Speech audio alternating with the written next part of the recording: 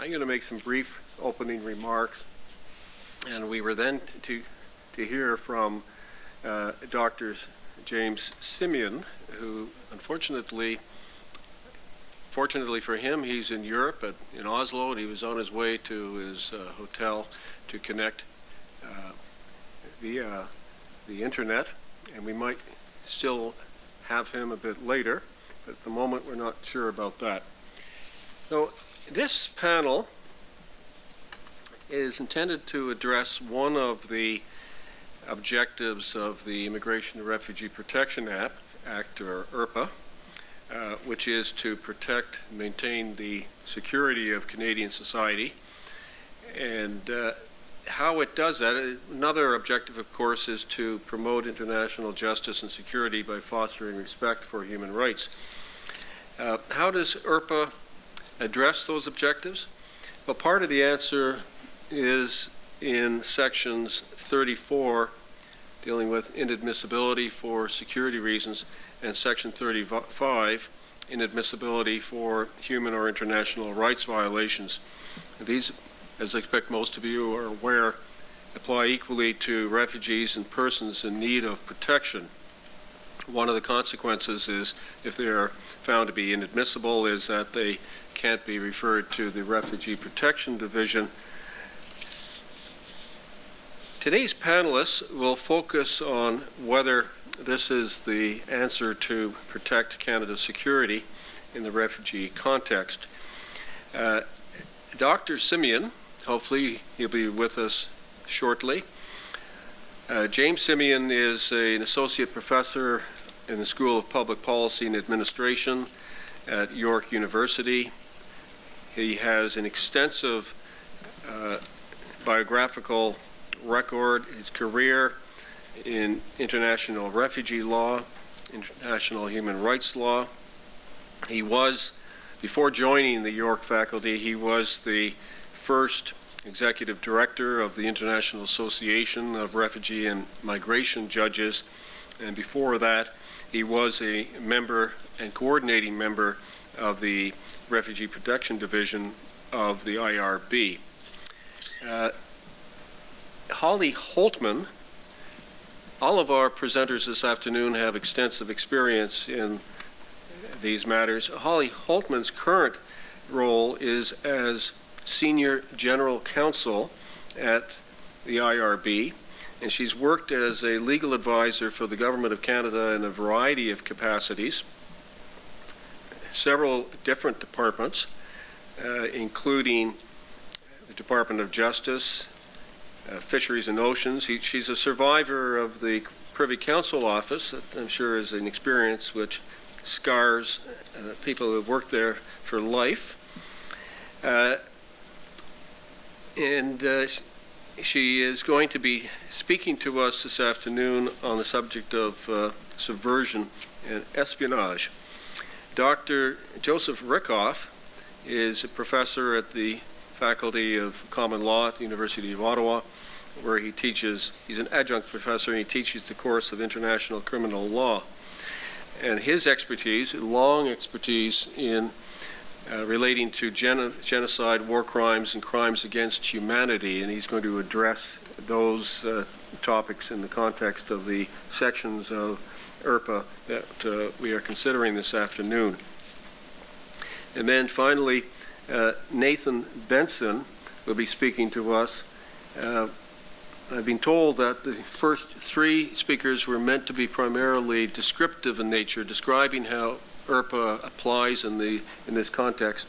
And then Nathan Benson, who is the legal and research director of the University of Ottawa Refugee Hub, was going to bring a somewhat different perspective to the topics this afternoon uh, and a more critical uh, perspective.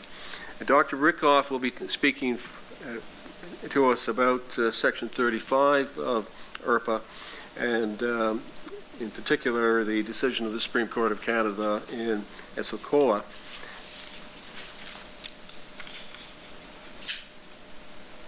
Rather than try to see at this point whether we can get uh, Dr. Simeon. I think what we'll do is we'll proceed directly to uh, Ms. Holtman and she will be discussing inadmissibility for security reasons under Section 34, and in particular, as I've noted, with regard to subversion and espionage.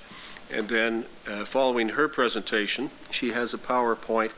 So those of you who are tuning in remotely, I'm, I'm uh, told that uh, this session is being channeled to three other universities, Montreal, Ryerson, and uh, I believe York. Uh, What you will see on the screen then is Ms. Holtman's uh, PowerPoint presentation. And she will then be followed by Dr. Rikhof, and then again, uh, perhaps what we might try to do is to have Dr. Rikhof, if he'd be so kind to do so, to touch on what Dr. Simeon was going to speak about, if uh, at all possible. And if by that stage we might have him uh, with us remotely. And then finally, we will have uh, uh, Professor Benson speaking about uh, sections 34 and 35 of IRPA from a critical lens and discussing in particular whether they are overbroad in their application and interpretation and whether that results in too many people being found inadmissible and subject to removal orders. With that uh, introduction, I will invite Ms. Holtman to come to the podium. Good afternoon, everybody, and thank you very much, Justice uh, Mosley, uh, for that warm welcome. Yes, it's true, uh, a stint at PCO is something that's survived, and uh, I solved the problem of how to escape uh, my stint at, G- at uh, PCO by um, getting pregnant with our second child, and so that was a graceful exit out, and uh, I have moved on to other interesting things, as many of you know in the room, uh, work at the Immigration and Refugee Board of Canada. So, Today, I'm going to be speaking, as Justice Mosley indicated, uh, with respect to sections 34.1a, uh, espionage, and b, subversion. I'm going to just be loosely taking you through it in uh, 15 minutes and no more than 15 minutes. Uh, the the legis- not just the legislation and the changes that have uh, occurred recently, but also, of course, the case law and how it's been interpreted. So I thought it was fitting that I, I bring my materials in an I Spy bag, given that I was speaking on espionage, so I'm, prepared for my espionage presentation. Maybe it doesn't need to stay up here.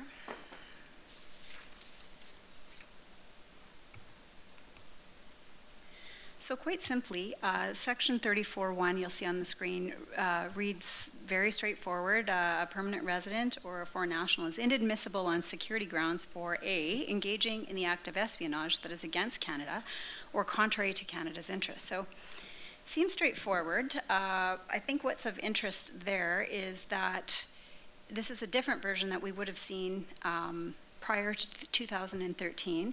At that point, um, there were Bill C-43, uh, Faster Removal of Foreign Criminals Act, which was effective June 19, 2013, provided that previously, uh, a, a, little bit broader definition, previously, espionage um, provisions uh, regarding inadmissibility on security grounds were narrowed in that uh, the previous legislation read uh, A, engaging in the act of espionage or act of subversion against a democratic government, institution, or process as they are understood in Canada. So the notion that it's going to be restricted to um, Canadian interests or contrary to Canadian interests is in fact a narrowing. Um, as people may recall, that was a legislative change brought by the Conservative government, and uh, the, as the title says, Faster Removal of Foreign Criminals Act, it did seem, it struck me that this narrowing of a provision on inadmissibility was maybe contrary to the grain of a lot of the the amendments in that in that legislation, but uh, here we are with that provision.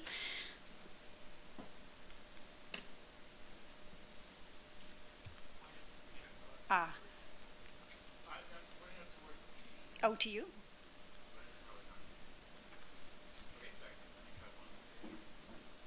Get my water.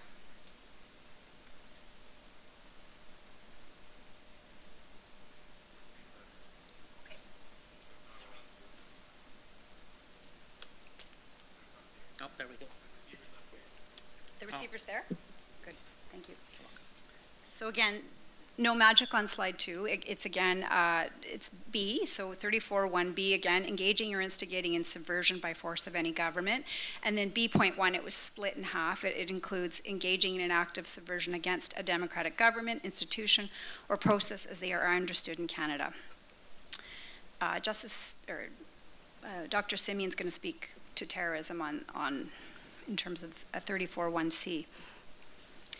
The important distinction between B and B.1 is uh, B indicates force, right? So you're engaging or instigating subversion by force of any government. Again, any government, no comment on what the objectives were, whether it is a democratic government, whether it's a repressive regime, any government. And, and B.1, engaging in an act of subversion against a democratic government, institution, or process as they are understood in Canada. So some qualifiers on B.1.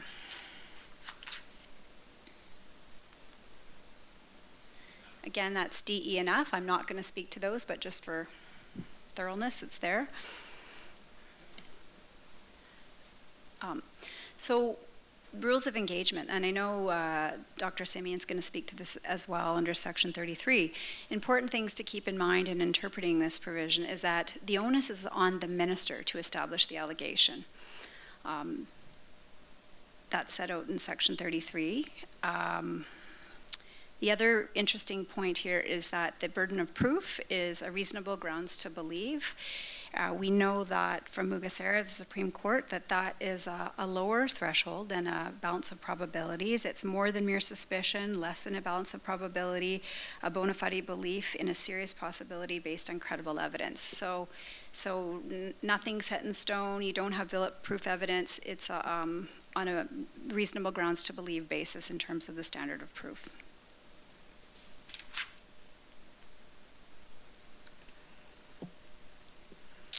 Espionage. So uh, this slide speaks uh, to the Qu decision, which was a decision of the Federal Court of Appeal in 2001. Uh, the facts of this case were um, Mr. Qu was a member of the Chinese Students and Scholars Association at Concordia University.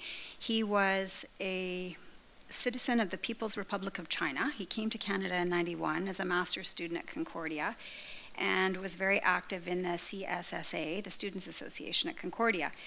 Um, he, in this decision, the court held that, in essence, a students' association, the Federal Court of Appeal, held that the students' association certainly could be characterized as a democratic institution. Initially, initially the federal court had held that uh, this provision was only meant to capture institutions or entities that uh, had a political component or a political governance responsibility, and the Federal Court of Appeal broadened that and um, held that yes, even a student is spying. Oh yeah, and I should have given you more facts.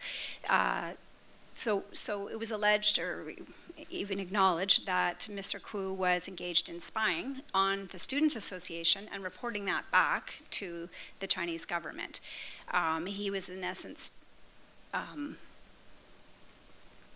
maybe not subverting, spying, and that was in, determined to be um, something that would be captured under this provision.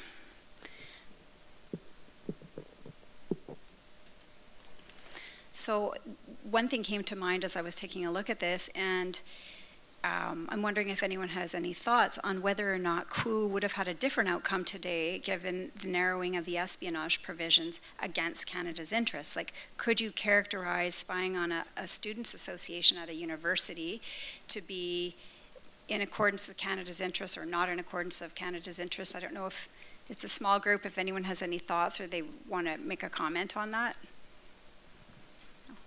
Okay, this is a really narrow area that doesn't come up a lot, so I don't expect people to be necessarily familiar with this. Um, so, I, I, can say that we don't have any case law on the meaning of contrary to Canada's interests. However, uh, we do have agraira. Uh, Supreme Court of Canada in 2013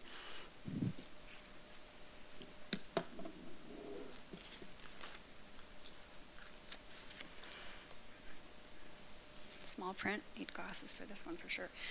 Uh, in that case, in Agraira, which I don't have a slide on, it was again a Supreme Court decision. The appellant was a citizen of Libya and he was a failed refugee claimant. He was found to be inadmissible on security grounds based on membership in the LNSF, which is the Libyan National Salvation Front, which was considered to be a terrorist organization. So he, this wasn't in the context of an admissibility finding or hearing at the tribunal, but rather uh, the minister's uh, ministerial relief under the national, national interest exemption. And in that context, the court found that the, the, the, definition of detrimental to national interests includes broad things. It's a contextual definition. It includes things like whether an applicant's presence in Canada would be offensive to the Canadian public. Uh, they looked at whether there was an indication whether the person uh, may have been benefited financially or otherwise from their membership in the terrorist organization and whether the person had adopted the democratic values of Canadian society. So they looked at all those things in, in determining whether or not it was contrary to Canada's interests. Uh, I, may, I, won't, I won't venture a guess in terms of if you were to apply some of those reasoning here, whether or not who would have had a different outcome based on the narrower national interests test as opposed to the the previous version, which spoke to uh, espionage against a, uh, an institution or process as they're understood in Canada, which clearly the Students' Association was found to be well within um, the ambit of.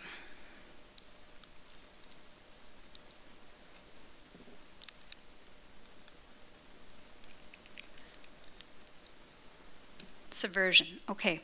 So subversion, when you first look at this, you say to yourself, unless you're working in this area, you've done a lot of work, you're thinking, what does this mean exactly? What is subversion? Um, and it's not defined in IRPA. So one of the first decisions that uh, the courts in looking at this have referred back to Black's Law Dictionary, uh, and that definition finds that it's the act or process of overthrowing a government. You see a reference above on the slide to a decision of the Federal Court of Appeal in 2014, Najafi, although they were applying the previous provisions. And they held that, that the purposes of 31 34.1b, subversion does not include any reference to the legality or legitimacy of such acts.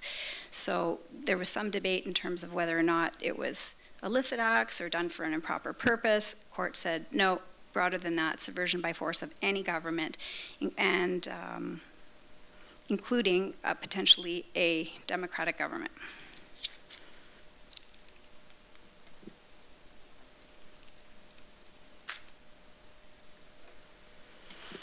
So this slide speaks about the any government component that I referenced earlier. Uh, the word subversion by force of any government do not imply a qualification of any kind. So this it's not it's not necessarily a legitimate government. Uh, in essence, this legislation has shown that courts and tribunals don't have jurisdiction to apply the national interest test. It's not baked into subversion as a definition. It's something that you can apply. There's relief to be sought under what's now 42.1. It's called the Ministerial um, National Interest Exemption. Um, but that's not something that courts can do also of interest, if you actually, if you go to section six of NAF, uh, of IRPA, six sub three, you see that 42.1 is a non-delegable power. So in essence, this is something that only Ralph Goodale can decide. Is it contrary to Canada's interests? Not even an officer within the department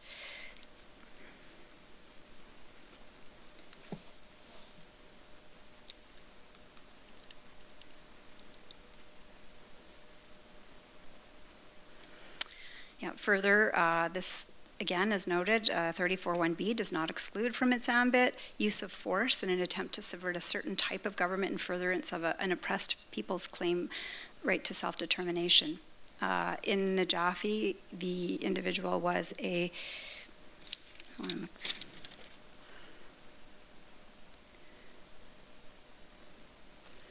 sorry, uh, Mac Maksudi, I've got my Maksudi note here, uh, fighting repressive regimes. This one's interesting because Mr. Maksudi, this is 2015 federal court, Justice Steiner, colleague, um, he in essence found that this individual who was a radio operator who helped uh, Masood in um, Afghanistan and through the years from 78, 90, right throughout to 1996. He was even engaged in fighting the Taliban, but still, uh, even though you may think, okay, radio operator fighting Taliban, that's a good thing, that's still, this individual was still caught by 341B in terms of subversion and deemed to be inadmissible.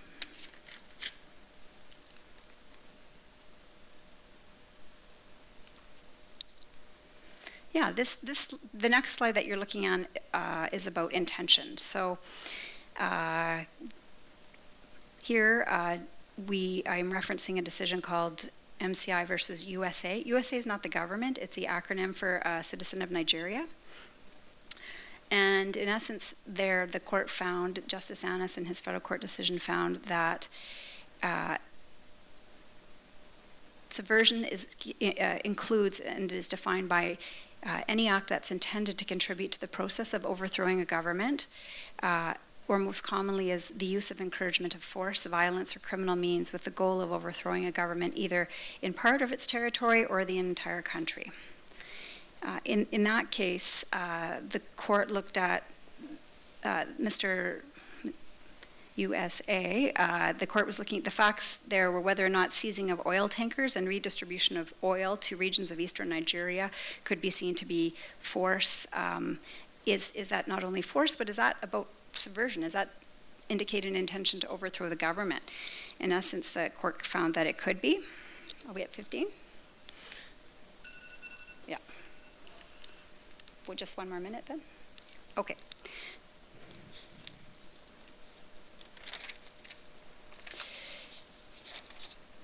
just thinking what's the best and most interesting thing to go to. I think I'll just go to the next slide and that will be it. Good. So, so to round out subversion and what courts have, have said and have indicated by the mean of by the use of subversion, uh, this is again about knowing an intent. Uh, prohibitive conduct, acts of subversion, violence imply that, that activities are carried out knowingly with an intent to do so. That's Oremade. Um, a person would know or ought to have known to have intended the natural consequences of their action. Uh, the facts of the Oremade decision involved whether or not an unattempted coup in Nigeria would be considered to be being engaged in the subversion of a government. So here, the applicant was a former Nigerian army officer, part of a planned coup against the government, which never took place as the plot was discovered and the applicant fled. So his role in the coup was to interrupt lines of communication by seizing the airport with 50 soldiers. So again, they, they attempted to argue that um, because it didn't it didn't occur, that that they wouldn't be caught by uh, the subversion um, inadmissibility provision. Court found no. Um,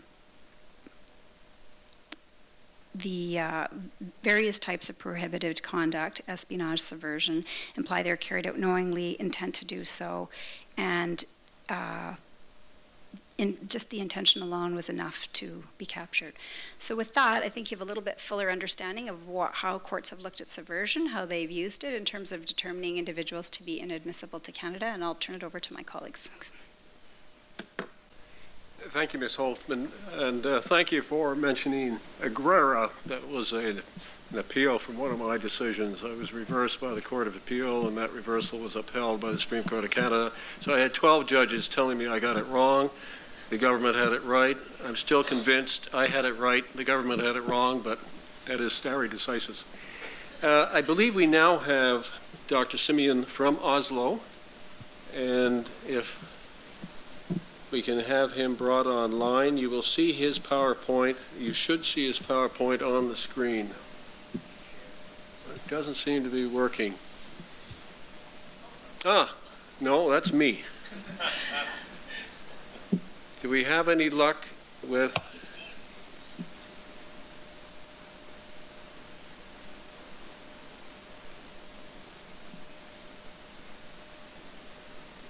Uh, Justice Mosley, I'm trying to um, put my PowerPoint on the shared screen, but I don't think I'm having much success.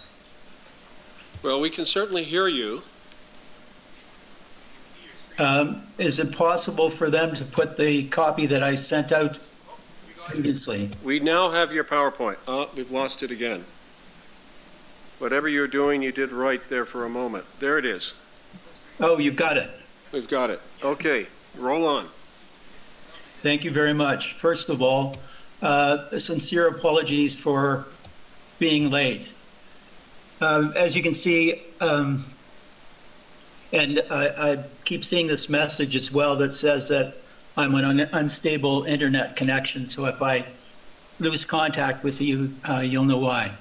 Um, what I'm going to be doing here uh, in terms of the title of this particular roundtable is presenting the academic perspective. Uh, others will present the practitioner perspective, I hope. Uh, hopefully you can see what the outline for this presentation is going to be. Now, I'm not going to get through this in 15 minutes, but what I'd like to do, and um, correct me, uh, Justice Mosley, if you've already covered a lot of the Section 34.1, but I'm concentrating on C, engaging in uh, terrorism. Um, touch briefly on the consequences of inadmissibility, and obviously it's a deportation order. I'd like to review very quickly the Canadian Criminal Code section dealing with uh, terrorism, Part 2.1. And then I'll uh, touch on terrorist groups and list of entities. And if there's time, um, and hopefully there will be, I'll touch on the key elements in terms of a number of important uh, judgments Krishnamurthy, uh, Perez, Village, Villages, and Charest. And then, if there's time, some conclusions. Well, first of all, I want to emphasize a couple of things in terms of Section 34.1. And as you can see, it covers not only foreign nationals, but permanent residents. And I think that's very important to keep in mind as well. Um, I want to emphasize to some extent the refugee implications, the refugee law implications in terms of Section 34 uh, 1. But I'm concentrating on C, engaging in terrorism. But as you can see, D, D, E, and F also could perhaps touch upon individuals that are somehow involved in terrorist activities. Endangering the security of Canada, engaging in acts of violence, and you'll see that from the definition, being a member of an organization, and it specifically uh, makes reference, well, and it, it, also could encompass, obviously, uh, terrorist organizations or membership in a terrorist organization. If we look at uh, the consequences, uh, one of the interesting things is that the minister has a right to appeal to the Immigration Appeal Division, but the um, individual uh, does not have that right to appeal in terms of the judgment with respect to inadmissibility. But also, if you look at section 101, 1F, it says that the person, if he's found to be inadmissible, cannot make a uh, refugee claim. They're not eligible for that. But it does seem to make an exception to persons who are inadmissible solely on the grounds of paragraph 35.1c, engaging in terrorism. And I thought that was interesting and worth noting. And of course, the implications of all this is that uh, the person gets deported from Canada. And incidentally, deportation or expulsion is, in fact, the most common method that countries use in terms of dealing with uh, people that are found to be inadmissible for terrorist activities. The other thing I'd like to emphasize as well uh, in terms of the criminal code is that, first of all, it's important to keep in mind that there is no comprehensive convention on terrorism. So there's no universally um, accepted definition for what uh, terrorism is. And I think uh, Holly may have pointed this out already. There is no definition of terrorism in IRPA or the regulations itself. But if you go to the criminal code, it has a very interesting uh, definition in terms of terrorism. And I'd like to underscore that most Western liberal democracies have their own definition. They're all unique. And if you uh, look at the UK definition, it's similar to Canada, but it is different. If you look at the American definition, it is very different from the UK and Canadian definition. So, what is unique about the Canadian definition? Well, uh, it makes reference to acts or omissions that are committed in or outside Canada. I think that's important. And then it lists all of the offenses related to that. And as you can see, I've listed here a lot of the sectoral agreements dealing with terrorism. I believe now we have some 19 of these sectoral agreements, but we haven't, and the United Nations is still deadlocked on a comprehensive uh, convention for terrorism. And I personally believe that that's very important and hopefully it'll be achieved. I'd like to underscore International Convention for the Suppression of the Financing of Terrorism. That's important because in Suresh, in fact, the Supreme Court um, actually pointed to that particular definition. The other elements that are important are um, if you look at acts of omission inside and outside that are committed in whole or in part for a political, religious, ideological purpose or objective or cause. That's the motive clause. And um, that's very interesting. The UK and Canada have that, but other countries don't have. The US does not have that. And then, of course, the intention, and you can see all the things that are listed there.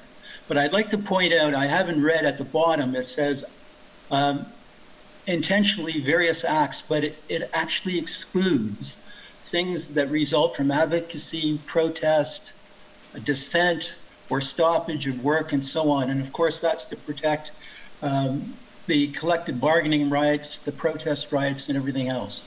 So those are excluded from terrorist activities. And then, of course, uh, in terms of terrorist groups, um, Canada, like other countries, including the United Nations, has a list of terrorist entities. And uh, I'm running out of time, so I'm not going to emphasize a lot of that. But if you look at the Canadian list in terms of who's on that, in terms of organizations, I have uh, some descriptions here. Um, but we have somewhere in the order of about 54 different terrorist groups that are listed there. Now, to be listed is not criminal. However, it has certain implications in terms of uh, uh, being an organization and being active in Canada. But the other thing that is underscored here is participation is um, actually an offense. If you in, actually are enhancing the ability of a terrorist group or trying to facilitate a terrorist group, then that is um, a criminal activity. Now, very quickly, in terms of the case law, and I'm not sure how I'm doing for time, but uh, Krishnamurthy, and I, I must apologize. This is a, a judgment of Justice Mosley's, so I'm sure he'll uh, he might have some uh, further comments. But in this particular judgment, uh, Justice Mosley pointed out that the officer really did not go into detail in terms of, of a finding of inadmissibility with respect to terrorism. The person, uh, the officer didn't examine the intentions, the degree of involvement, the commitment. And it's very important to look at the test in terms of reasonable grounds to believe. And that is, uh, I think, a very low test in terms of establishing that. And it's been interpreted by the courts as more than a, a mere suspicion, but less than a balance of probabilities. And interestingly enough, under Article 1FA of the 1951 Convention, serious reasons for considering that someone is should be excluded it's in fact the same test in terms of serious reasons for considering. So I thought that was interesting to point out. Um, other aspects that are important in terms of assessing whether or not the person is engaged in terrorist activities is their involvement, length of time, degree of commitment, and so on. And I found it interesting that uh, Justice O'Reilly has pointed out that you have to establish as a, a minimum institute, some sort of institutional linkage and knowing participation in that terrorist activity. Um, there, if we look at Perez Village, uh, I think what you have is essentially the same thing in terms of reinforcing reasonable grounds to believe. And here the Supreme Court uh, endorses that particular test uh, with Mugesera. But I want to underscore that um, what's used frequently in these judgments in terms of a definition of terrorism is, in fact, the Supreme Court of Canada's definition in Suresh. And the challenge there in terms of the Suresh judgment was uh, the constitutional vagueness in terms of the use of the term terrorism. And what the Supreme Court did is actually referred to the Convention for the Suppression of the Financing of Terrorist Activities and said that that is, in fact, a good definition that could be employed. And that is repeated. And in this particular judgment, which is from Mexico and Chiapas, and I believe it's the um, the group there, the EZLN group, um, and in fact, uh, in this particular case, the whole issue was: is this in fact a terrorist group, and was the person engaged in terrorist activity? So that's um, on the basis of that, the uh, court actually set that aside. Um, and finally, I, am not sure how much time I got, but I'm going to uh, go on to the conclusions. Um, the Canadian definition of terrorism, if you look at that, um, what's really interesting about it is it's not only a complex definition, which is broken down in various components. I believe there are at least three elements that are crucial to that, but we actually have incorporated the dozen international sectoral conventions on terrorism and identifying these as criminal offenses related to terrorism. Uh, I pointed out as well that one of the other elements that's um, unique to Canada, the UK, and some other countries is the motive clause. There has to be a motivation in terms of the terrorist activity, whether it be political, religious, ideological. There has to be some sort of uh, motive in terms of that. And then in terms of the intention, it's clearly to intimidate the public or segments of the public, compel individuals or the governments to do things, of course, or refrain from doing things that these particular groups would like them to do. What's also interesting about the list of entities, and again, Canada is not unique about this, there are a number of countries that have these list of entities. The issue that's been raised with respect to the list of entities is that all of these countries have different groups on their list. There is no universal list of terrorist groups. And if you go to the UN, they have different groups than the United States, than Canada. So there is variation across countries in terms of the list. But what is common in terms of that is the listing. And what is also unique in terms of the listing is you can get listed and put on that list, but you can be taken off. And sometimes what happens is um, a group actually gets taken off the list. They were a terrorist organization, they were listed, then uh, 10 years later they're taken off the list itself, but an individual appears who may have been active in a particular group, uh, but no, the group is no longer listed. So that raises different kinds of issues. And both of these judgments, um, it's important to keep in mind that when the courts are reviewing them, they're looking at a very detailed analysis with respect to what kind of engagement in terrorism was this individual involved in to be determined inadmissible. inadmissible. So if there isn't an analysis with respect to intentions, degree of involvement, commitment, institutional linkage, and so on, then the courts are probably going to strike it down. And then we have, of course, um, the definition of terrorism that the Supreme Court of Canada has endorsed in Suresh, intended to cause death or serious bodily injury to a civilian, which is important, or in any other, uh, to any other person not taking an active part in the hostilities of a situation of armed conflict. So um, I think I'll leave it there, Justice Mosley, and hopefully I haven't run over time. Thank you, Dr. Simeon. Actually, you're well within your time, so uh, I thank you for that as also.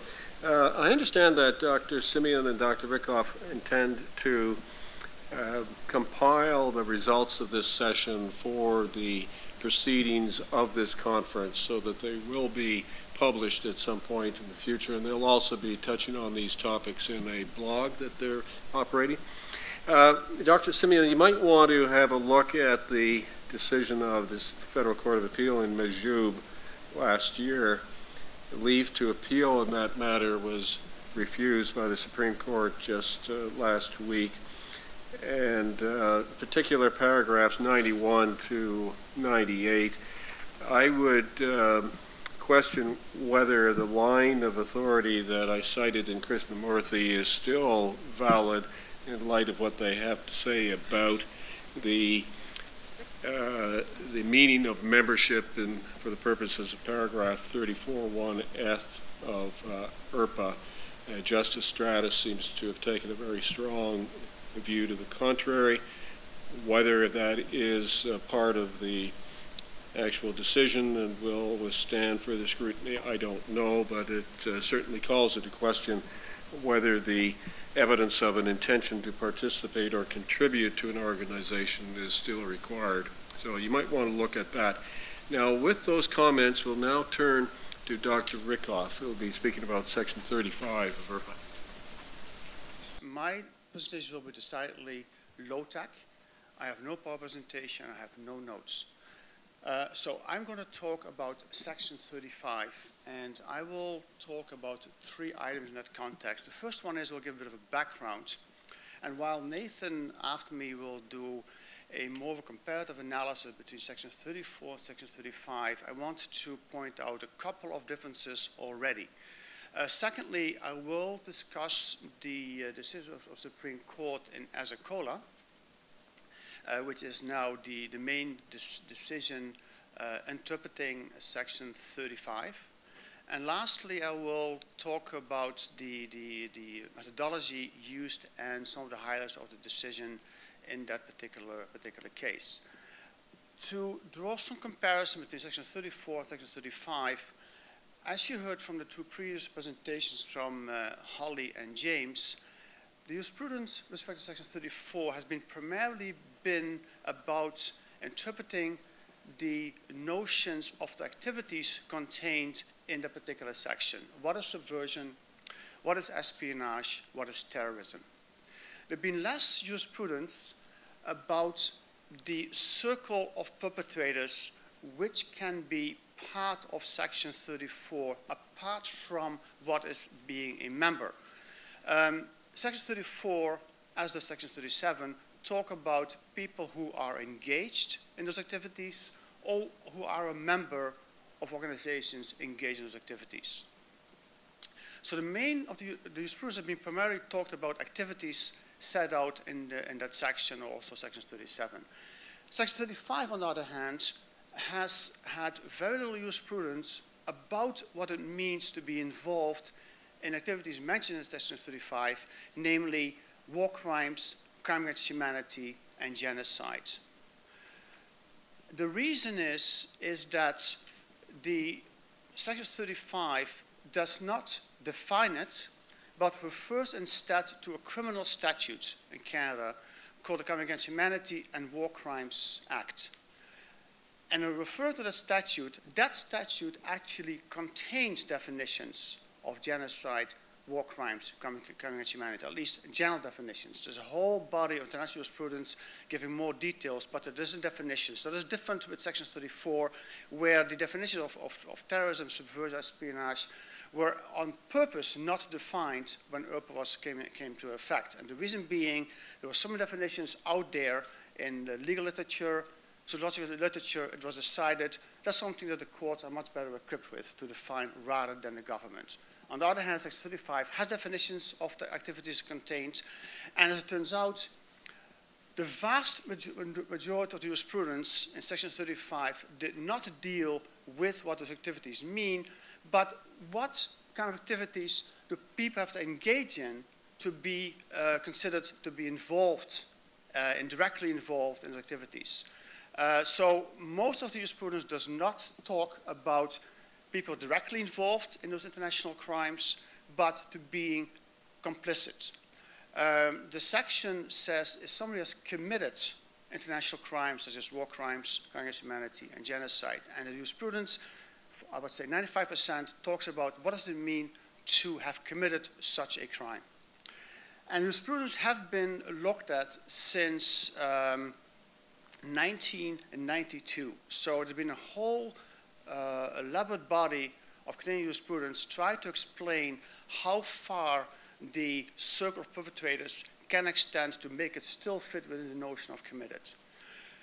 The Supreme, Supreme Court uh, was called upon to, uh, was asked, uh, was asked by, by the appellant, Mr. Ezokola, to um, redefine what committed meant. Because in the, in the view of the appellant and some other interveners as well, the definition and interpretation of the word committed has undergone quite a bit of wild growth since 1992. And, and, and, and by the time this case was the Supreme Court in 2013, it was felt that the parameters had, had become too broad and too vague to be uh, to fulfill the purpose originally intended for Section 35.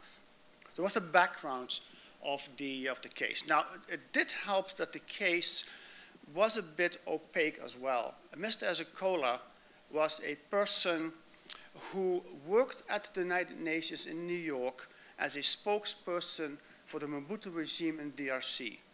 There was no doubt that while he was a spokesperson in New York uh, or an, an attaché, that the Mobutu regime had been involved in widespread criminal activities known as crime against humanity.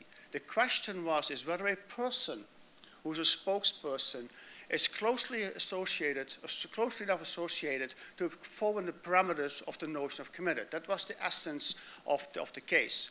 And um, the, the, um, judiciary, the judiciary track was that the federal court had agreed that under existing jurisprudence, this person could be considered to be complicit. For, uh, sorry, this, the federal court had felt that, was, that this person's activities was outside complicity. Federal Court of Appeal felt it was actually within notion of complicity, and Supreme Court eventually was of the view that this particular person, Mr. Ezokola, should not have been uh, found inadmissible or actually excluded. And I, come, I come to the reasons in a minute, but the Supreme Court decided to use a methodology which has some bearing on its final result. The Supreme Court decided to use three types of methodology to give a definition, or maybe I should say a new definition, of the word committed. Uh, first of all, uh, it said, well, since Section 35 refers to international law, international criminal law, and that body of law has its own parameters of people involved in a direct capacity. And since it is a ref reference in our legislation, we should look at international criminal law in order to be informed what the broadest concepts are in that body of law and ensure that we in Canada go not beyond it. That was the first premise of the Supreme Court. We cannot go beyond what committed means international criminal law because the whole premise of Section 35 is it should be in accordance with, with international criminal law. That was the first one. Secondly, the Supreme Court also relied very heavily on decisions by the Supreme Court in the UK and New Zealand, which were rendered a couple of years before. This issue had already been litigated and had been rendered, had been decided upon in 2010 in the UK and 2011 in New Zealand. So there was already some precedent there. As a matter of fact, the Supreme Court followed very closely the UK decision uh, by the Supreme Court when it gave its parameters of what complicity uh, means. Thirdly, while it was argued and the court was urged to actually start completely anew and develop a definition which was should take a complete break with the past, Supreme Court actually referred to and relied on previous jurisprudence by the federal court. So it did not throw everything out. What the Supreme Court did, it did not, um, I would say, had a more evolutionary approach to, to uh, uh, previous jurisprudence rather than start a whole new path. And that is especially, and explain in a minute why you can see that uh, in very, very much detail. So what does the Supreme Court say?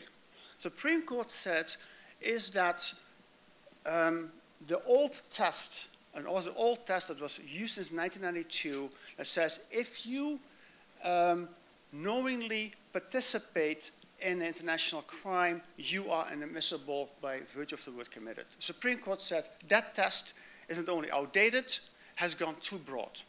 Because what it meant is that that, that test also resulted in people being found admissible for mere membership in an organization. And Supreme Court said specifically that aspect of complicity we will actually um, uh, set aside because we looked at international criminal law and we can't find no evidence at this point in time international criminal law has a notion of membership in an organization. So we take that aside. So that was taken out. And the Supreme Court changed the test from knowing a personal participation to an overarching test that says if a person knowingly and voluntarily makes a significant contribution, then you are inadmissible or excludable. That's the test. Knowing, um, voluntarily, vol voluntary, and significant contribution. That's where everything lies on. But the court realized this is also a particularly broad test. So they gave the decision makers a, um, uh, some guidelines. They say, in order to apply this test, we give you an approach whereby you can look at seven various factors to decide whether or not a person is complicit. The court made it clear that not all factors are equally uh, uh strong or are, need to be present, all seven. But if you have a majority of the factors, then a person can then be considered to have been involved voluntarily and, uh, and knowingly and made a significant contribution. So what are those factors?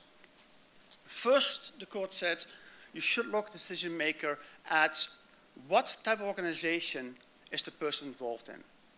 The, uh, the, the type and the size of organization. Implication being if you are a small CAG in a very large organization, let's say the Colombian army with 100,000 members, that will not, that, that tends to be a factor in favor of the person who's been taken to, to the uh, IRB for admissibility hearing. The small organization, the more likely is a factor against a person being taken to admissibility hearing. Secondly, the court said, if you look at organizations what was the organization the person was associated with? Was the organization habitually involved in taking and in, in, uh, carrying out international crimes? Or was it like a more sporadic matter? Implication again being the more often the organization the person belonged to or a small unit belonged to, the more likely the person uh, should have a, a, a, uh, a factor decided against him or her. Thirdly, the court looked how long was a person part of the organization? Again, the longer you're part of the organization, the more likely there is something to be said that the person was probably involved or meant to be involved. Secondly, what was the person's career path? In other words, the higher the rank, the more likely the person had involvement with the organization. Um, then the course looked like how did the person join? How did the person leave? Again, implication being if you joined voluntarily as opposed to being forced recruited, that is not exactly positive for, for a decision maker uh, to take into account. But one thing that the court did, it added a new factor. The factors I just mentioned have all, all derived from either the British Supreme Court or previous jurisprudence. There's nothing new with those factors. But the court sharpened and focused the notion of complicity at one particular factor. Said you have to look what the person's duties, responsibilities are in the organization. That became the focus of the analysis for future decision makers. So that is what the court has done. Um, as a result, I won't say as a result, but before the decision making of the Supreme Court, the number of decisions by decision makers at IRB, which were overruled by the Federal Court, Federal Court of Appeal, was about um, one third of all decisions. After the Supreme Court, after initial hesitation in applying this, the decision makers became more familiar and in, part also applying the old test became better at it to, to use this new, this new uh, uh, factor of responsibilities and, and, and duties that the, the uh, number of cases which have been overruled have actually decreased. It's now around 25% of all the cases. Although I should add, there's only been 34 cases since July 2013. The cases do not come before the court very often. That's my overview of the Toccoa case. Thank you.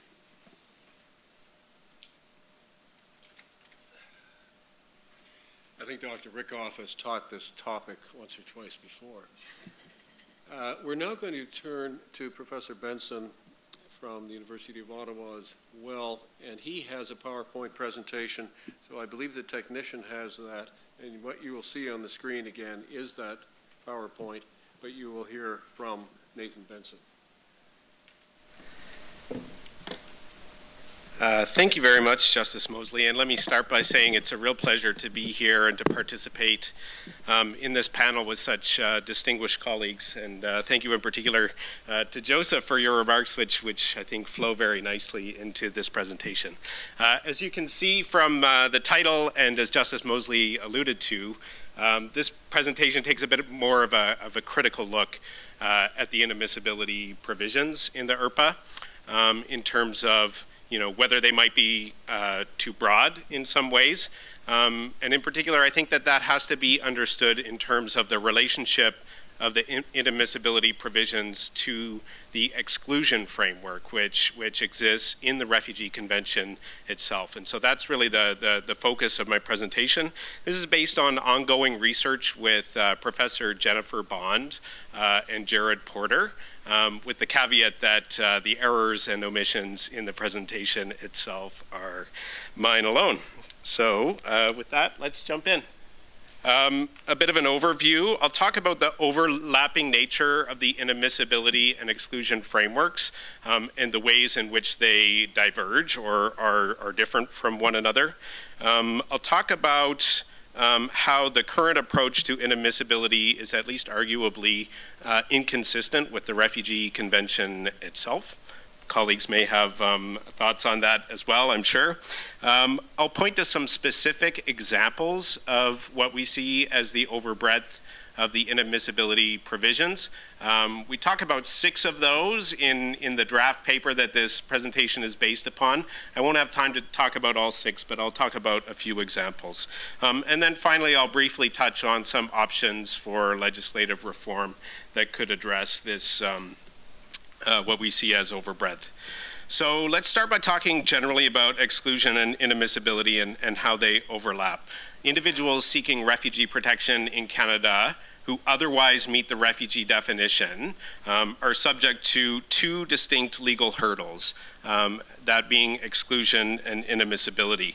The mechanisms for these two things are different, but the end result is the same, that's a denial of access to refugee protection. So um, for exclusion, um, an excluded person, uh, the result is a denial of the refugee, of the claim for protection, often by the RPD. Um, for inadmissibility, as I think James touched on, the consequence is ineligibility to even have that refugee claim considered by uh, the Immigration and Refugee Board. End result is the same. Um, so the two frameworks have significant overlap, but also significant divergence, and in several important ways, the inadmissibility framework is um, broader than the exclusion framework in ways that, that we see as problematic. So starting with exclusion, uh, as I mentioned, this comes directly out of the Refugee Convention itself. It's in Article 1F, um, as many of you will know, and it's uh, incorporated directly by reference in Section 98 of the IRPA. It excludes individuals from refugee protection where there are serious reasons for considering that they've committed serious international crimes, which are listed here, serious non-political crimes, or acts contrary to the purposes of the United Nations. Um, and to kind of sum up what this is about based on the, the, the guidance that UNHCR has, has issued, which was quoted um, uh, quoted favorably by the, the Supreme Court in Ezokola, it's meant to encompass acts that are so grave as to render their perpetrators undeserving of international protection as refugees. So it's really trying to strike that balance between um, on the one hand, protecting the integrity of the international refugee protection system by not allowing it to include the perpetrators of serious international crimes, which would undermine the support for that regime on the one hand, and on the other hand, not excluding people who don't have direct or don't have actual culpability um, for those crimes. The inadmissibility framework, uh, in contrast, arises purely from Canadian legislation. It's not present in the Refugee Convention. It's set out in sections 34 to 37 of the IRPA. Um, it applies to all classes of immigrants, not just refugees. This presentation obviously is concerned with the application of those pr provisions to refugees and refugee claimants. Um, it predates Canada's signing of the Refugee Convention in 1969. Um, and we talked about the effect of, of this. inadmissibility under at least the most serious grounds, which are listed here, results in ineligibility to have a claim for refugee protection considered uh, by the board. It's interesting to look at the legislative history um, when Canada was incorporating in domestic legislation its new obligations under the Refugee Convention. And that was done with the 1976 Act. So in 69, Canada signs the Refugee Convention. In 76, they incorporate those obligations into domestic legislation. And at that time in the parliamentary debates, there were concerns raised about the inadmissibility framework. Um, you know, based on the, on the argument that if we apply this to refugees, it's going to be broader than the exclusion framework that's in the convention. And there was a concern that that was inconsistent with the convention itself, a concern that we think um, remains valid to this day. So it's interesting to look at that legislative history that that concern was there from, from the beginning. Um, the focus of our research is really, so inadmissibility and exclusion overlap in all kinds of ways. We don't purport to cover all of those things. We're looking at a very specific subset of those issues, which is how do these two frameworks deal with the issue of association with a group or membership with a group? Can, can one be denied refugee status based on one's prior associations? And one way of thinking about this is in terms of the distinction between complicity on the one hand and guilt by association on the other hand. So complicity is an established form of culpability for criminal conduct, both in international criminal law and, and in domestic criminal law. Guilt by association is, is typically something that's seen to be not a legitimate part of, of criminal law.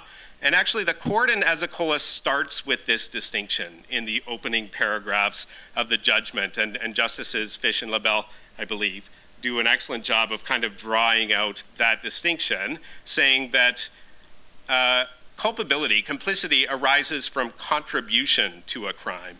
It can't arise from mere association. And that was really, I think, at the heart of, of what was going on in, in Ezokola and the clarifications that, uh, that Joseph outlined in more detail. So let's look at the divergence that happens at that point, right, where we have that, that course correction in my mind on, on the exclusion framework. So in Ezokola, the court reined in the Canadian approach to complicity, their words, not mine, paragraph 29, um, to ensure that individuals are not excluded from refugee protection for merely being associated with others who have perpetrated international crimes. So they articulated this new test, uh, the voluntary knowing and significant contribution test that, that Joseph talked about. And then you can contrast that with what's still going on in the inadmissibility framework. And uh, it, it, kind of jumps out in, in this case, Al-Ani, um, which is a, a, 2016 decision from the federal court. Um, and the facts are quite similar to Ezokola, right? Mr. Al-Ani, I'll, I'll, talk about the case a little, a little more later on, but um, he, he, he was deemed to be, he was, um, the allegation was that he was inadmissible to Canada because he was a senior official in a government that had committed international crimes, not that he had committed those crimes. Very similar facts to Ezokola, right? But he's being considered under inadmissibility, not exclusion. Ezokola was an exclusion decision. So in this context, the court said, if a person has the status of a prescribed senior official, it matters little whether they were complicit in the violations allegedly committed by the designated regime. So it's quite a contrast, right? In one context, you have the court saying guilt by association is no longer valid, right? In the other context, inadmissibility, the court seems to be saying guilt by association is alive and well. It's still valid legal doctrine in the inadmissibility context. Um, following, uh, following Ezokola, there was some question mark about whether these principles articulated by the Supreme Court would be translated to the inadmissibility uh, framework. And there's an interesting example of that in the Joseph case from 2013, where Justice O'Reilly said, um, while Ezokola deals with the issue of exclusion, the court's concern that individuals should not be found complicit in wrongful conduct based merely on their association logically extends to inadmissibility as well, right? So opening the door that Ezokola principles would be applied in the inadmissibility context as well. Um, that door was eventually slammed shut uh, with great clarity by uh, the Federal Court of Appeal in the Kanagendren case, right, where, where the court clarified that nothing in Ezokola changes the test for membership in the inadmissibility context. Now, the Supreme Court has yet to rule directly on that point. It's always possible that a case could rise and they could take a different view. But short of that, or short of a, of a, of a successful charter challenge to the inadmissibility framework, um, which seems to have dim prospects so far as well, it's probably going to require legislative amendment to deal with this, what I see as the overbreadth of the inadmissibility framework. Let me touch quickly on um, what we see as the, the issue here in terms of the inconsistency with the Refugee Convention, and then I'll briefly mention some of those specific examples of overbreadth um, that I alluded to. So the conflict uh, with the Refugee Convention is this. Under international law, only the grounds of exclusion in Article 1F of the Convention can justify exclusion from refugee protection. So if inadmissibility casts a broader net in terms of denying refugee protection based on prior uh, conduct than does the exclusion uh, framework in the convention, it's our argument that that's inconsistent with the Refugee Convention and inconsistent with international law. Um, it's not a new issue. As I mentioned, there were concerns about it from the beginning in 1976 uh, when Canada was incorporating the convention. But because of the course correction in Ezokola on exclusion, uh, the issue becomes a bit more stark. It becomes more apparent. Um, so some specific examples of the overbreadth. Um, the, me the mere membership provisions or the membership provisions in section 34.1f and 37.1a, where a person can be inadmissible based on being a member of groups believed on reasonable grounds to have engaged in the prescribed acts. There's only two considerations here was the individual a member of the group and was the group en engaged in the prescribed activity, which depending on the section could be terrorism, espionage, subversion, or organized criminality. Um, and recent authority for this would be the Khan case from 2017. Let's look at an example of how this plays out in practice. Um, in the Begum case from 2016, uh, the claimant is a 76-year-old woman from Pakistan. She was a member of the MQM political party in Pakistan. She distributed pamphlets, encouraged people to vote, did charity work um, with women. She fled to Canada due to a physical attack, a stabbing by a member of a rival political party. There was no allegation that she personally engaged in violent or terrorist activity, but the party had engaged in political violence that came within the definition of terrorism, right? So that was the issue. And the outcome was that she was found to be inadmissible for membership in a terrorist organization, even though there was no allegation that she actually contributed to those, to those crimes. Um, I guess building on the issue of membership, um, another issue that, that broadens it even further is that there's no, uh, there's no requirement for a temporal connection. Um, so in plain language, um, you can be in, inadmissible for membership in an organization uh, that didn't begin its criminal or violent activity until after you left the organization. So you were a member, you left, then the illicit activities started, you're still inadmissible for being a member. That arises from Section 33, the interpretation provision that says that the facts that constitute inadmissibility include facts that have occurred, facts that are occurring, and facts that, that may occur. So again, an example of how that might play out. Um, a claimant fled to Canada, again from Pakistan, and received refugee status. Uh, she acknowledged she'd been a member of MQM, the same political party as in the last example. Uh, but she became involved, but the, the group became involved in political violence after she had already left the group in 1988. Um, the Immigration Division of the board uh, acknowledged that she had left before those activities began, but found that it didn't matter under the legislation.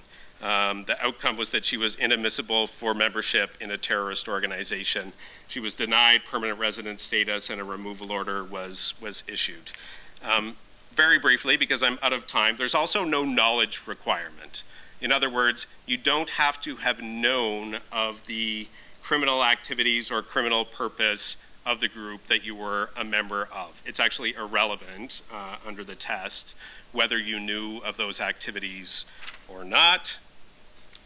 Uh, skipping along, um, the prescribed senior officials provision, um, which I mentioned in relation to the Al-Ani case.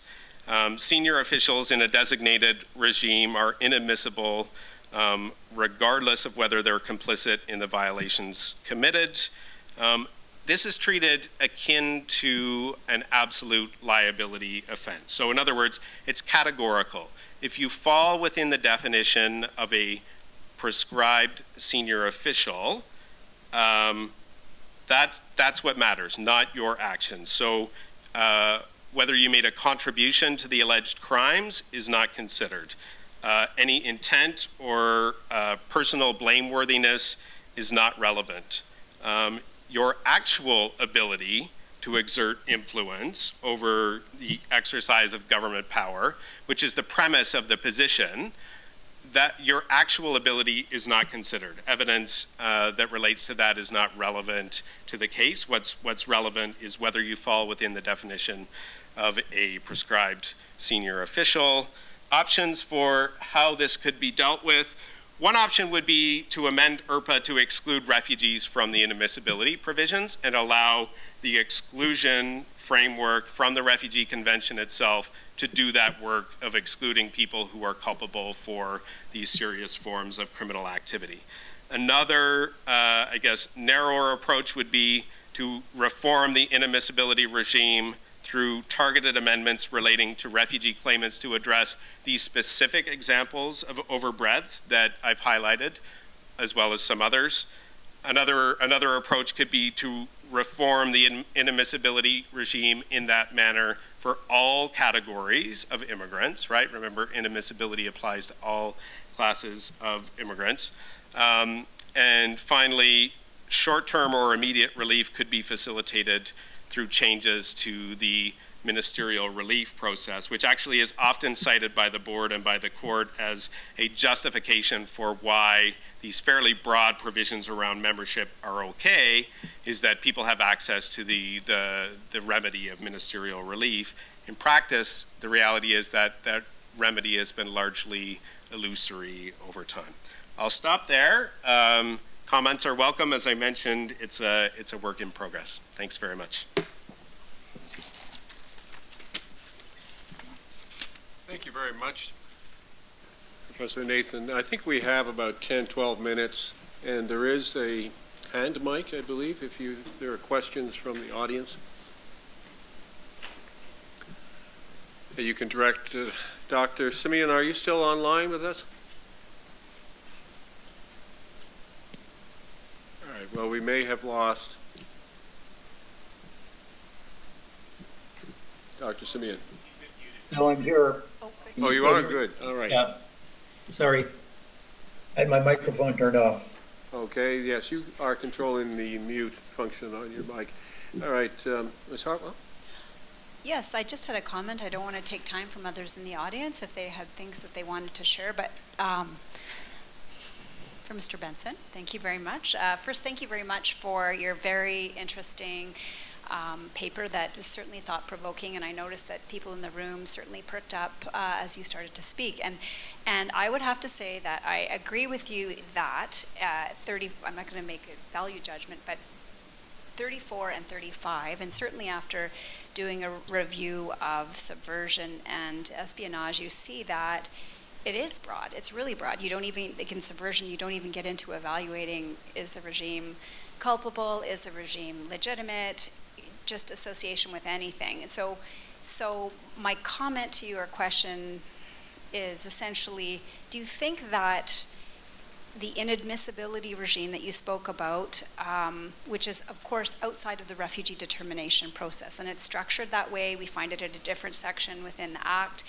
um, is couched within a domestic government's immigration framework rather than an international obligation of, of providing refugee protection pursuant to our participation in international agreements. So it's a domestic policy thing rather than a, uh, uh, an international obligation. So therefore, governments, to me, their objective, I'm speculating, imagining, one of their key objectives is security of Canada, security of Canadians. So we don't care if it's overbroad. We, uh, I am putting words in the mouth of legislators, but the, the, the objective is security. We'll just make it broad. We're happy with that. Um, and that's part of domestic policy rather than uh, the exclusion analysis and framework, as you find it's about culpability. Culpability will somehow remove you from um, deserving refugee protection, and it's framed that way as it's something that's to be bestowed on you, and do you deserve it, and are you are you culpable? The other side of the house, the inadmissibility side of the house, is well, no, we just we're, we're deciding what's admissible to Canada. We're, this is around visas. We're entering. It's about sovereignty. It's about our borders. It's about who's coming in, and um, therefore it's a domestic policy issue. And is there room for the two of them? Um, I guess we can get into constitutional challenge. That's a different thing. But um, to me, the key differences are because their their roots are very different. I don't know if you have any comment in response to that. Sure, thanks very much. I think those are very thoughtful comments. I mean, I certainly agree with you that the genesis of the inadmissibility provisions lies in domestic policy. Um, you know, the antecedents of the current provisions go back to the 1800s, right?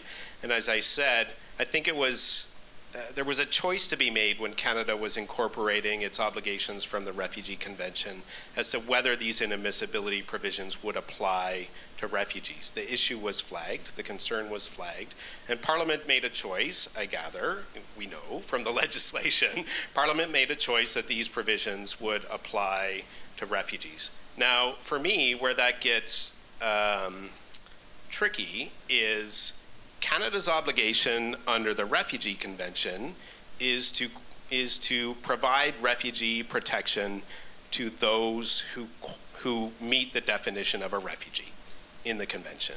Now, Article 1F provides a specific framework for excluding people from that definition who would otherwise meet it. Um, it's a carve out, right? Uh, but to go broader than that is, in my opinion, to derogate from Canada's obligations under the convention itself. Uh, there were some references on this slide to the Vienna Convention on the Law of Treaties. I didn't speak to them, um, but you know, essentially those principles say you can't use domestic law as a reason for not fulfilling your obligations under international law, and you have to fulfill your inter, uh, international law obligations in good faith, your international treaty law obligations in good faith. In other words, you can't undermine the purpose and objectives uh, of those obligations through domestic law. So to me, that's where that's where the conflict lies, right? Yes, the roots of an inadmissibility are different, but applying them to refugees, in my mind, derogates from Canada's obligations under the Refugee Convention. Now, some of the jurisprudence suggests that, you know, this is sort of saved by the fact that ministerial relief is available. As I mentioned, you know, over time, that that remedy has been quite illusory. So I would prefer to see a solution that actually applies an appropriate test at the front end in determining who's entitled to refugee protection and who's not, as opposed to this sort of faint hope remedy of, of ministerial relief that might save what would otherwise be uh, a violation of, of, Canada's international law obligations. So that's my point of view on it. Very interesting. I'll just uh, add to that, if I may.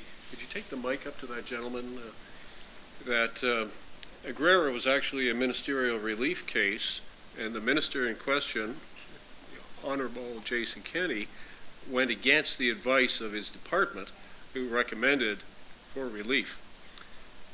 Sir. Uh, hi. Um, I'm, I'm curious what you make of the politics of these of these provisions and, and, and of the way that they're applied. So I'm, I'm thinking of Angus Grant's uh, interesting um, empirical work uh, on the way that, in spite of the breadth of provisions like the subversion provisions, they're never actually used um, in uh, circumstances uh, where they might be used, where um, where the where the politics are such that the the interests of uh, of the Canadian government link up with the interests of the actors who engaged in the subversion. So, for example, you know anyone who's been involved in the American military uh, has uh, been involved in an organization that's engaged in uh, subversion um, uh, of a government by force. Uh, every sitting president could be caught by this uh, Nelson Mandela could be caught by these provisions, uh, but we give him honorary uh, citizenship. And so um, uh, you, you, that the panel focused a lot on the legal tests, which I think are are, are interesting, uh, but I wonder if it misses where the real action is, which is in the discretion about when you institute these uh, when you institute these procedures, the discretion in terms of when the minister um, uh, uh, issues the uh, the exemptions, and I think that gets you into into the political factors. So I'm just curious what the panel thinks about about that. Well, I think that question may be best directed to the three academics on the panel. I don't know, Mr. Holtman, are you? I, I, I, can I can start. it reminds me. Um, I used to work for the government and that context, I was doing once a training in Africa to visa officers uh, based there. And discussion on subversion became quite interesting because the visa officers point out to me that more than half of the, power, the parties in power in Africa came about subversion.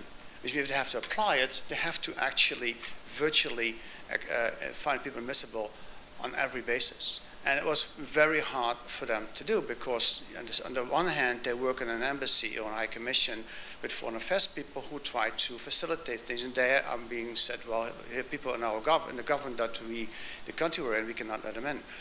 And the only legal answer is, and not legal answer is, that the, is the, is the uh, um, uh, um, no, I forgot the name now, the, the exemption provision, which was meant. Like I remember, I was I was part of the debate when uh, Bill 86 came into, into, place, and there was a whole concern that because of the broadness of subversive espionage, terrorism, the provision would be indeed unconstitutional, and that's why they put exemption clause in order to have an have an, uh, have an escape clause from constitutionality.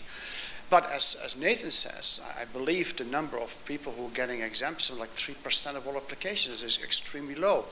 And I think if the, the, the policy is to keep the provisions broad, I understand what it is. It's hard to define such such difficult concepts. Then I, I, I, believe that indeed the exemption policy should be much more in tune with the political, political realities in other countries. So I agree with, with you there. That is not being done right now, and, it, and it could, there could there's room to actually have the exemption clause be much more effective than it is right now, and that depends very much on uh, what political masters want, because you can say very easily uh, apply exemption clauses very narrowly, right? So, so I agree with you what you say there.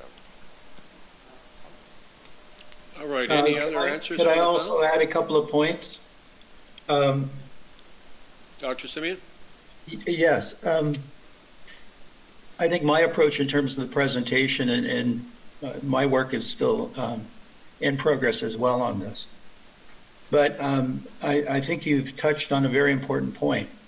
Looking at the legislation alone and looking at the jurisprudence alone really did, only gives you a certain perspective in terms of the whole area of inadmissibility.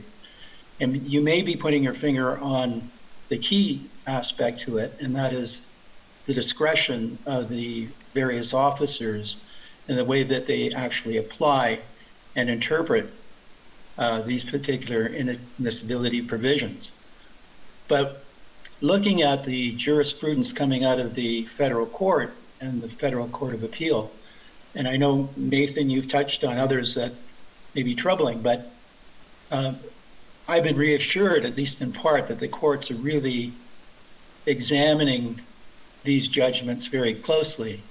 And if they're not applying what in fact you mean by membership, um, have you clearly established that this person was a member? It's not merely a statement that perhaps the individual has made. Have you looked at the contribution, the intention, the period of time that they've been involved, and so on? So I'd like to just make those observations. Right, I think we at most have time for one more question. Are there any others from the floor? If not, I would uh, just comment briefly that there is an exemption in the definition of terrorist activity for the Mandela, referred to as the Mandela exception, or, um, or otherwise known as the armed conflict exemption, for organizations which are fighting against oppressive regimes, as in his case, the apartheid uh, regime in South Africa. Uh, with that, I'd like to thank uh, the four speakers who made the presentations on this panel, and thank you for inviting me to participate. And invite you all to uh, congratulate them for their presentations.